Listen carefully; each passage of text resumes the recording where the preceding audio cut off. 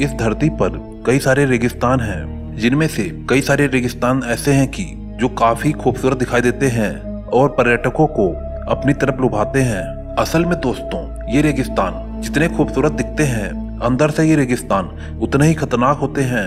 वैसे तो अक्सर लोग यही समझते हैं कि अगर कोई इंसान रेगिस्तान में फंस जाए तो वह पानी के बिना मारा जाएगा। लेकिन दोस्तों, ये बिल्कुल गलत है। कोई ज़रूरी नहीं है कि हर इंसान पानी के बिना ही मारा जाएगा।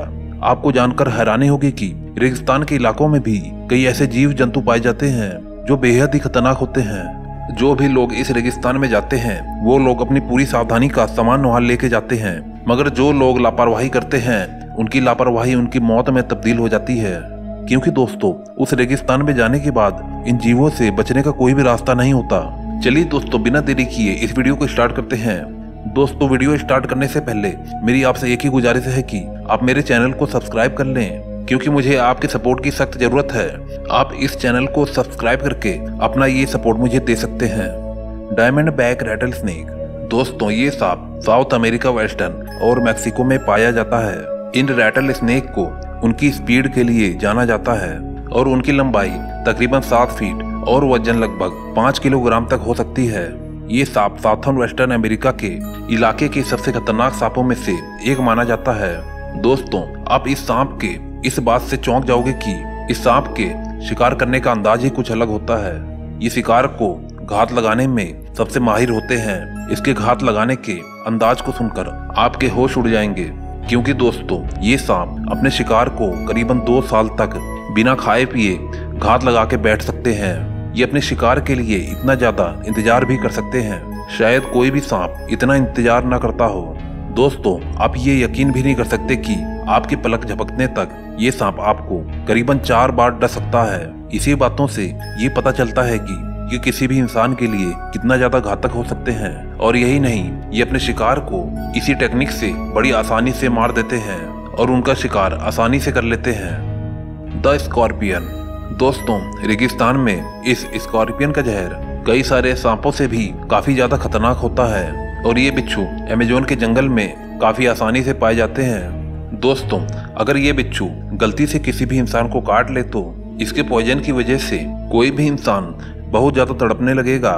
और ज़्यादा दर्द की वजह से ही वो अपना दम तोड़ सकता है। और यही नहीं, इसमें सांस की भी काफ़ी ज़्यादा प्रॉब्लम होती है।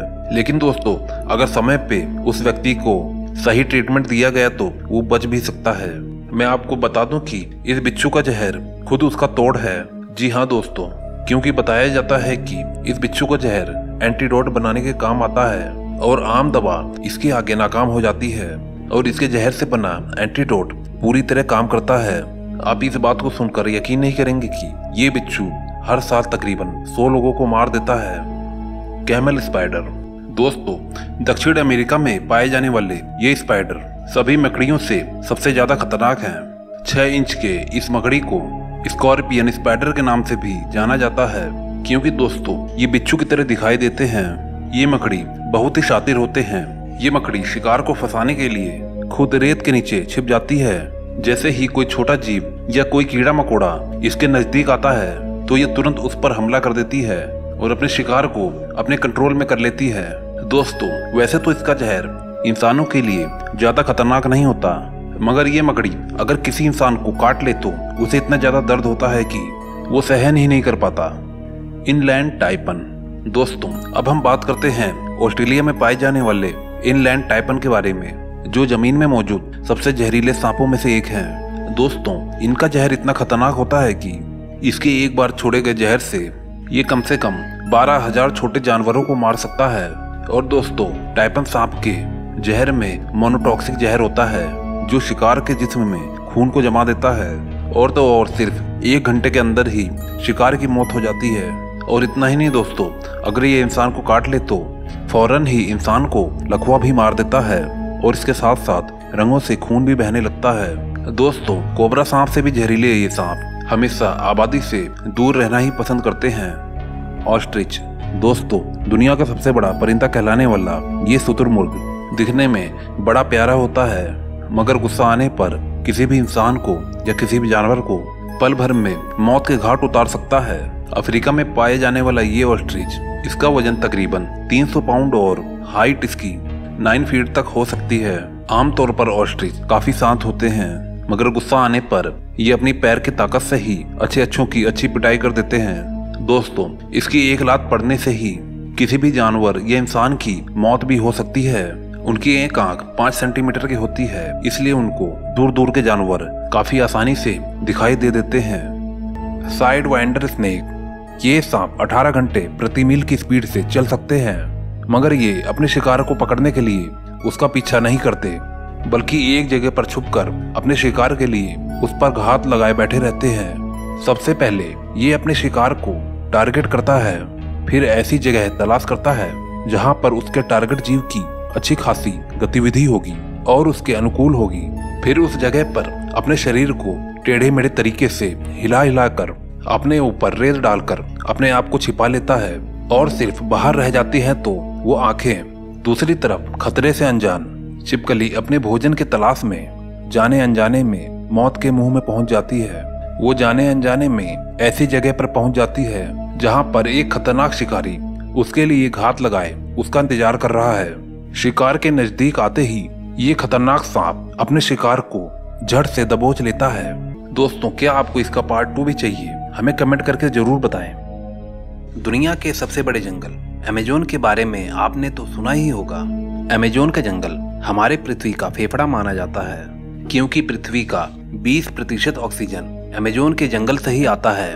आज की इस वीडियो में हम आपको अमेजोन के जंगल से जुड़े कुछ ऐसे रहस्य बताने वाले हैं, जिसको सुनकर आप चौंक भी सकते हैं। तो चलिए हम लोग चलते हैं अमेजोन के जंगल के सैर पर।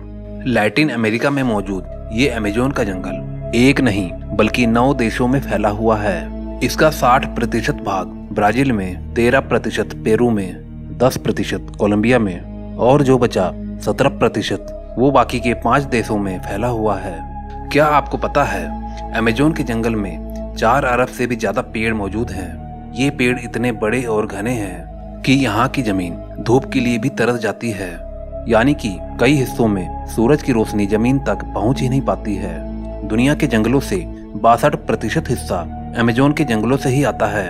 क्या आपको पता है कि अमेजोन के जंगलों का कुल क्षेत्रफल साढ़े पाँच मिलियन स्क्वायर किलोमीटर है, जो कि हमारे भारत के क्षेत्रफल से भी ज़्यादा है? अब आप समझ सकते हैं कि अमेजोन का जंगल कितना ज़्यादा विशाल है, जो पूरी पृथ्वी के चार परसेंट हिस्से में फैला हुआ है। दोस्तों अमेजोन की नदी दुनिया की दूसरी सबसे बड़ी नदी है, जो कि चार हज़ार मील लंबी है।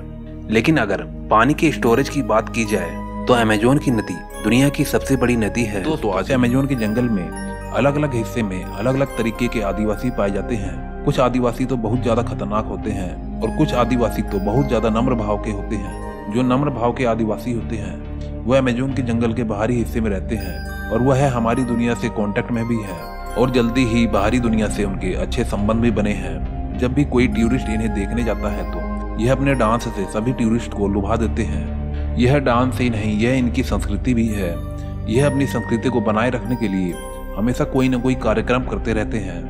दोस्तों, अगर आपको आदिवासियों के बारे में और कुछ भी जानना है तो हमारे चैनल को जल्दी से सब्सक्राइब कर लें और बेल आइकन को ज़रूर दबा दें। अगर आप हमारे चैनल को सब्सक्राइब नहीं करोगे तो हमारी आने वाली अगली वीडियो आपको नहीं मिलेगी। दोस्तों, अगर आपको वीडियो अच्छी लगी हो तो एक लाइक ज़रूर दे के जाना। मैं मिलता हूँ आपको नेक्स्ट वीडियो में। Okay, bye.